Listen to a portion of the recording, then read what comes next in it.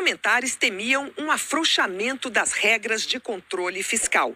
Durante as negociações de última hora com o governo, o relator acabou aceitando deixar fora dessa contenção a política de valorização do salário mínimo. Assim, mesmo se as contas estiverem no vermelho, o governo federal poderá reajustar o mínimo com aumento real, ou seja, acima da inflação.